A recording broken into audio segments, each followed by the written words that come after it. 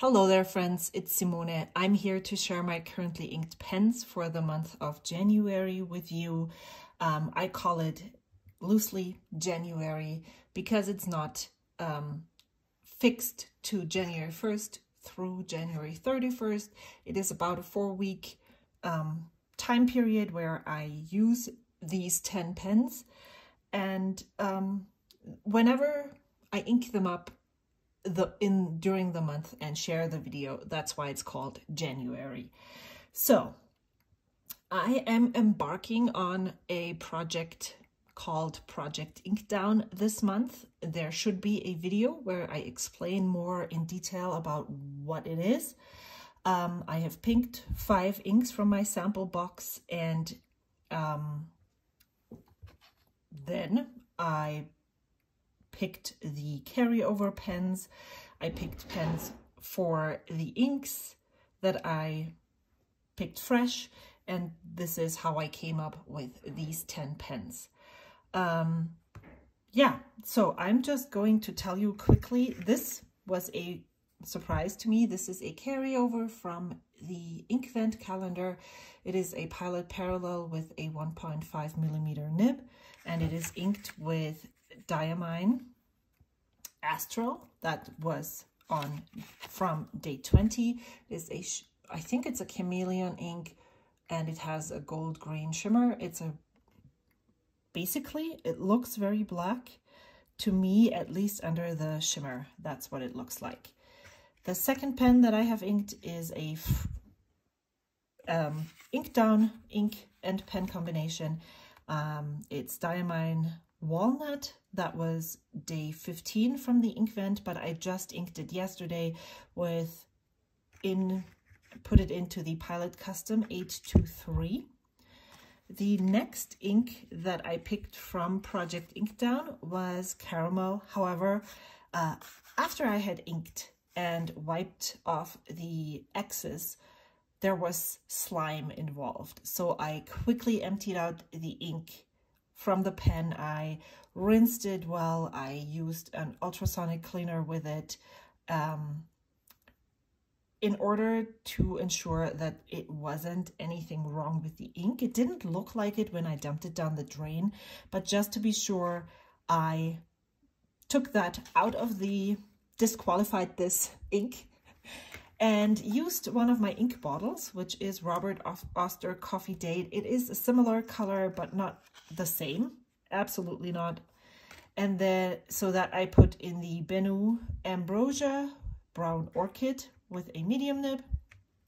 Then I uh, put my SIG medium nib from Franklin Christoph on the Esterbrook Estie in sea glass, and I put Emeraude de Chivor by J. Herbin into that pen. That is another ink down. Then in the TWSBI, I inked that on day three of the Inkvent, early dusk. It's a 1.1 stub nib and I really enjoyed this pen, so I decided to carry it over. Um, here's two different swatches of Troublemaker Abalone. I received two different samples from two friends and I just wanted to show how different though they are. They're not as different on camera, but this one is more purple and this one is more teal. And I put that into the uh, Schon Design Ultim with a Monarch medium nib. The Sailor King of Pen with a broad nib is carried over from day 8 of the Inkvent. Then I have the Pelikan M800 with a fine nib, inked with Diamine Raise a Glass. So that was inked on December 25th. And then I, uh, another project Inkdown ink. I have it, it is Pilot Iroshizuku Tsutsuji. I swapped the nib on the Scarlet as well. And this is a nib that was gifted to me by my friend uh, Shauna from Serial Nana. And she uh, had this made by Shibui North. It says Simone and there is a YouTube button down here. This is a fine flex nib. I have never used that pen. I think it's more it's less flex, more, more soft or elastic. We'll see. I have never used it, so we'll figure it out. I found it interesting that when I put this away, I saw this card when I pulled that out, and they're really similar colors. However, this is much better behaved and more complex. So if you're looking for an ink that looks similar, check out Pilot Iroshizuku Tsutsuji.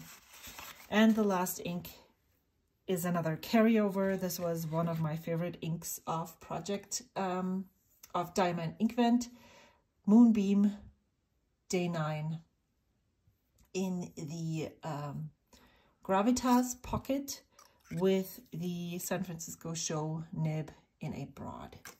And I'm going to show writing samples with you right now. I just wanted to show you what my ink journal looks like so far. Um, just so that you get an idea on how I document this. So I made a title page. I don't know if I continue decorating it, but this is where 2024 is going to start. This is uh, what I have at the beginning of 2024. My inky goals. As you can see, I do not have any pen or ink purchase limits. I am trying a different approach this year. Um, then I have formulated the arbitrary rules for Project Inkdown. This is subject to change as soon as I realize that I don't enjoy doing this anymore. And then I want to do one more exploration every month, four weeks. We'll see how this works out, uh, which is pens from my pen case. So I, I put that in the beginning so that I can refer back to it every time. And then we're starting in January. Here are the inks that were picked um, randomly from my Project Inkdown box. Here are the contenders for carryover pens. Then I, when I picked, I just wrote what ink I want to put in which pen. And then I decided I would have a test and thoughts page here as well. I used to have this in a different notebook, but I want to have everything in one book so I can look through this again at the end of the year and refer back to it. So once I inked it, I just scribbled here and I, I would have never picked this ink. These definitely up here, I would have never picked these colors, but just those five look so nice together. Then here are some thoughts. This is what I already sold, given away in January. And so I'm going to fill this page and then start here with um, figuring out um, or documenting each pen and ink combination. That I haven't figured out just yet. Um, I'm going to document a list of currently inks for these videos every month in my Rhodia notebook. This is spiral bound and the paper is removable. And then um, again, I can flip through this and see how it changed, how my thoughts, how I felt, I don't know if this is necessary. I just do this for YouTube and to have a different writing experience on a different paper. So eight minutes in, let's start. I need to set this up differently.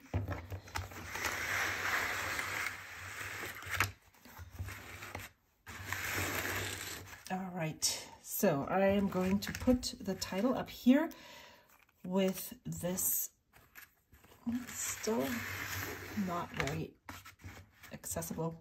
This looks good. I need a pencil board. I have a letter holder on my desk and I, because I keep losing my writing boards, I decided that everything that I find everywhere, I'm just gonna stick in here and every time I need a new one, I'll just pull it out and then hopefully this will be a good way to have them, um, to find one every time I need one. I was not so sure about this ink at all, but it's really dark and I very much like how uh, how dark and bold this is 2024 and then I'll just put here Rently inked. Okay, so the first pen that I have inked, I just talked about this. This is um, Diamine Astral, and I'm I like um, using the Rhodia paper because you can really see how the ink shades. So Diamine Astral. I do not do much with this. You can see it sometimes it doesn't really it for some reason it write it's supposed to write ooh on the the edge right here. Pilot parallel. But I have found that I had three inked in December 1.5 millimeter. It works better and worse on some of the inks, uh, on some of the pens, and uh, most of the time it's only one of the tips here that write. Um, I cleaned out all of my pens that I had inked in December yesterday after I had made the decision on what to carry over and which pens to um, ink up and these Pilot Parallels cleaned out really nicely. The next pen, I said it before, is the um, Pilot Custom 823 with Diamine Walnut. And every time I use this ink, I am very much uh, enjoying the experience. Um, I like how the color complements the pen. This definitely was a... I missed this pen. I haven't used it in a while, but this looked like it would be a great fit. So I know I always say that Diamine, walnut, um, pilot, custom, 823 with a medium nib. This is the amber colorway. And it's it's a back filler. That's why I opened the valve so I didn't would so it wouldn't stop writing. Um, I really miss this and I I'm enjoying having it back inked. I always say that I don't match um, pens with inks. That is true, but I also am not opposed to matching. If, if it just so happens that it works out, I'm not anti-matching, but I'm also not pro-matching, if that makes sense. This is the the ink that I'm actually thinking of letting go. I still have like half a bottle left, but I have never really enjoyed writing with this ink and I have given away a lot of samples as well. There are other yellow ochres or yellow browns that I prefer. So um, when the Papier Plume caramel was slimy, I decided to check my ink bottle drawer if I had an ink that was similar and I picked this one because that would then help determine um, Ambrosia if I if this really needs to stay in my collection. I'm not necessarily trying to destash all the things, but especially with inks that I purchased in the beginning as bottles, there are quite some bottles that I would not purchase again. Um, in contrary to pens, where I say that uh, there is no pen that I would never purchase again, because they all informed where I'm at right now. With inks, I am now purposely missing out on those where you cannot have purchase a sample just so that I don't end up with 30, 40, 50, 80 milliliters of ink that I don't enjoy. This is, as I said, the um, Esterbrook Estie in sea glass and I put in my Franklin Christoph with a SIG medium nib maybe you got a glimpse of my thoughts. I am strongly considering selling my two Franklin Christoph Model 2 pens. Um, one I purchased, J. Herbin, Emerald de Chevois. Um, and so I want to see how this pen, how this nib performs in other pens. So it is the, so of course, Esther Esterbrook Estie in sea glass. I would either sell it without a medium, or um, give you a nib that I have, a spare JoWo nib that I have. But yeah, if you're interested in, in my Franklin Christoph pens, let me know. I really like, I, I didn't bond with this ink when I swatched it. Um, I felt that Wearingeul Wayfarer was much more pleasant but I do really like how this ink looks in this nib especially. So I can't wait to, to use this more. I do have quite a few stubby nibs in this uh, rotation as well. Um, like the Diamine Astral, I want to see how useful this is going to be for me in a regular ink rotation and not in a uh, setting where I ink up a pen with the ink vent.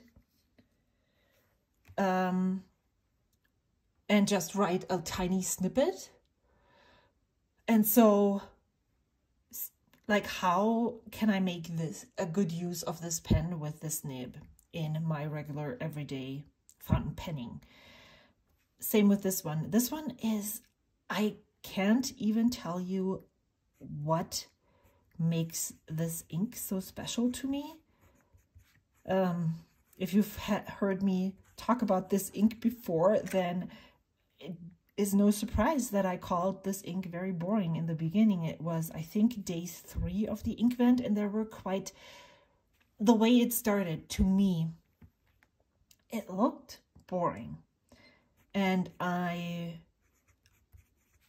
if you've if you're new here, then you don't know, but if you've been with me, you know that I opened it up the minute I received it. I swatched all the inks. I shared a, a first look at it, um, and then I put it all back and opened up, open it up every day. And I knew that there were inks coming at a later day that I would enjoy. Um, but when I went through every day. I really loved the first day, which I didn't like at all when I swatched it at first. I really liked this day three. And this one is a 1.1 stub nib. And maybe it's because I didn't have so such big expectations of this uh, ink. But yeah, I, I love how it shades and I can't wait to use this in my journal haven't journaled in, oh, um, almost over a month now. I can see that there are quite a few blue inks. This is not posting well. That is the only,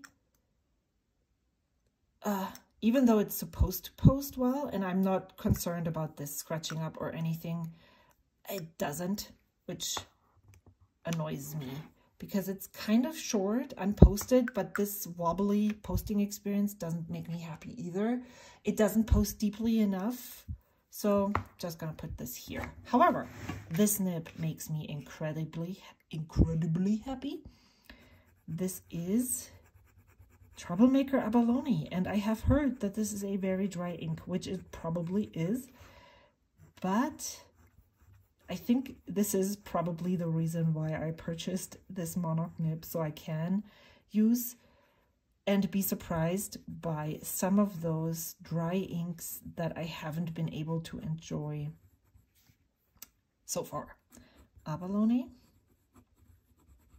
And on my paper, it looks very teal leaning. It On camera, it definitely looks more blue than purple as well. And then this is the Schon design. Autumn with a monarch medium nib.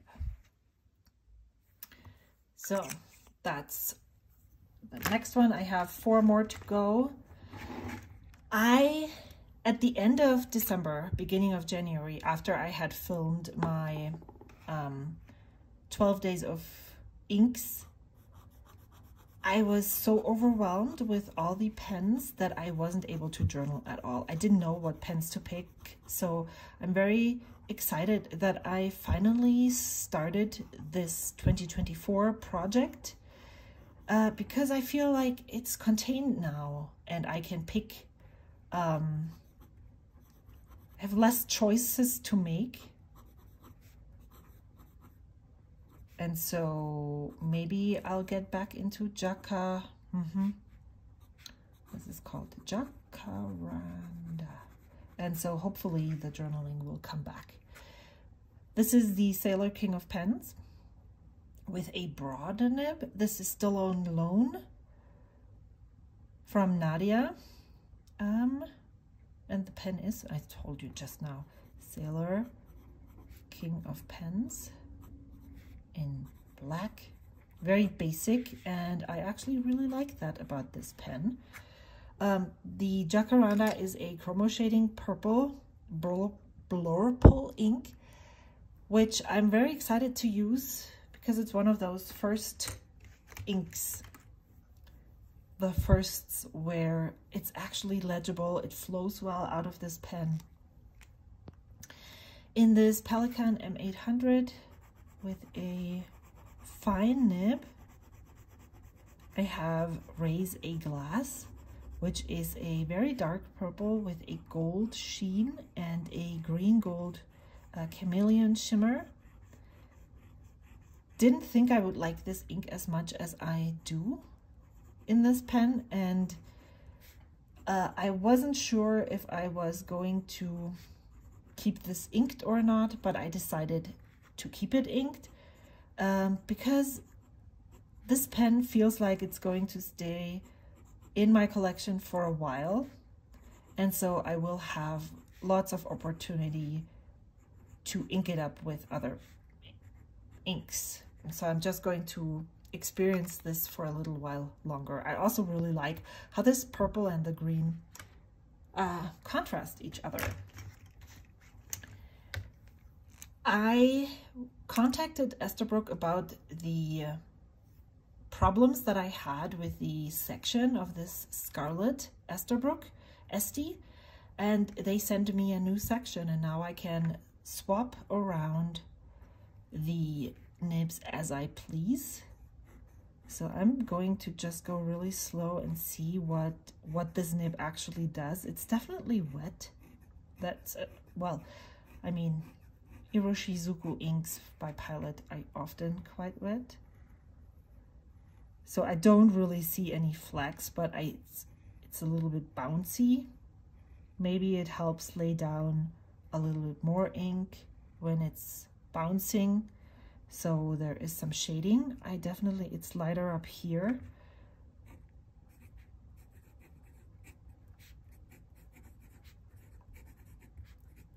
Does it feel like a fine nib? Not really.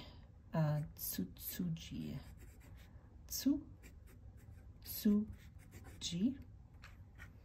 And this one is the Esther Brook. Estie in Scarlet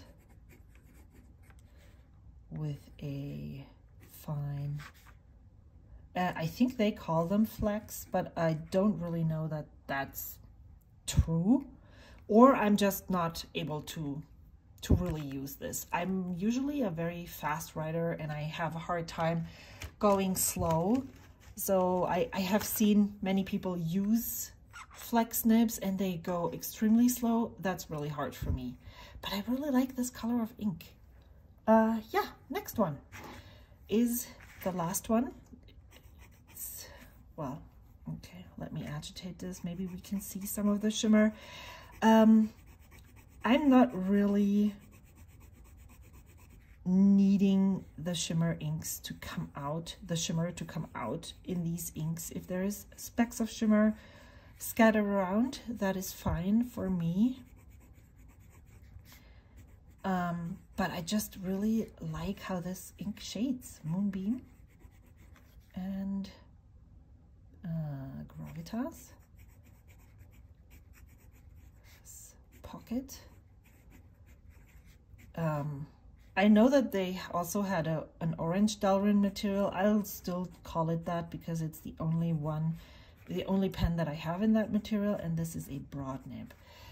Yeah, so these are all the pens and inks that I have for the month of January.